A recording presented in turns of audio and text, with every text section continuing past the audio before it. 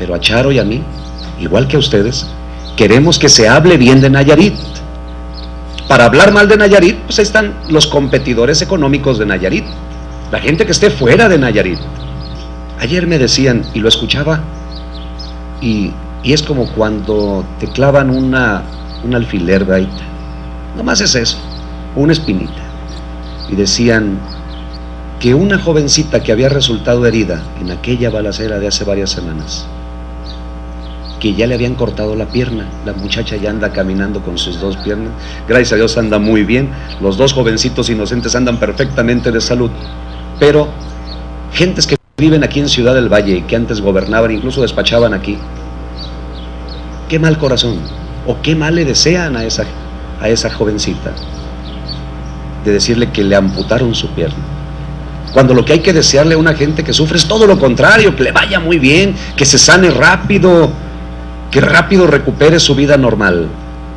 Bueno, estoy hablando de una persona, pero lo mismo afecta a casi un millón de personas que vivimos en el estado de Nayarit. El gobernador luchando porque se mueva la economía de Nayarit, porque Nayarit despierte, porque ese arrastre que traemos de décadas de no crecer, que en los últimos tres años se ha venido rompiendo, para generar ya no un círculo vicioso de no crecer, y sí un círculo virtuoso de crecimiento. Dijo que gracias al trabajo con inteligencia, ahora Nayarit es un estado competitivo y de gran proyección. No ha sido fácil. Ha costado muchísimo dinero promover a Nayarit. ¿De qué nos quejábamos antes? De Nayarit no dan ni el clima.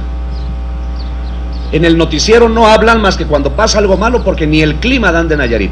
Bueno, ahora hay noticieros donde Nayarit le da el clima a todo el país con una leyenda ahí que dice Riviera Nayarit, el Milenio TV, y en todos los sistemas de cable del país donde se ve Milenio TV, es Nayarit el que le da el estado del tiempo, el clima a los demás estados y las demás ciudades. Ahora se habla de Nayarit como un estado con el que hay que competir, que tienen que estar mejor preparados porque nosotros estamos subidos en el ring de la economía, no solo nacional, sino internacional, con nuestros productos del campo y nuestros productos turísticos.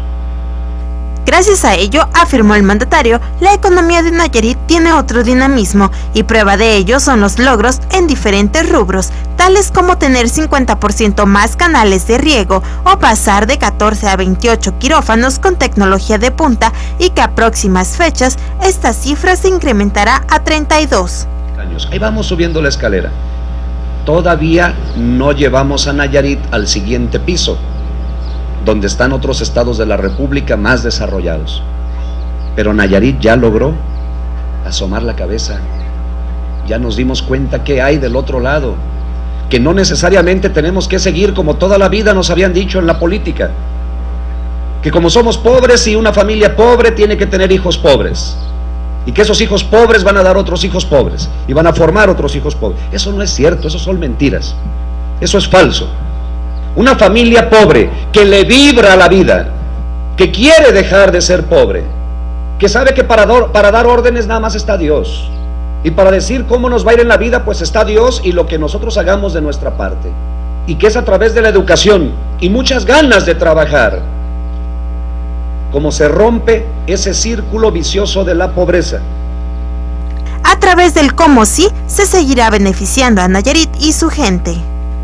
Ya nos dimos cuenta de que Nayarit sí puede y que Nayarit ahora está en primeros lugares en muchas cosas.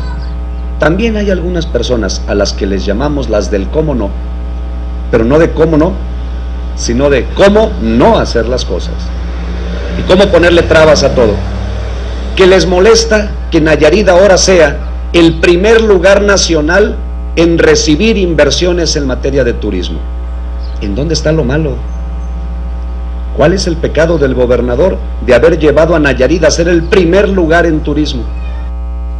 Y mire, le platico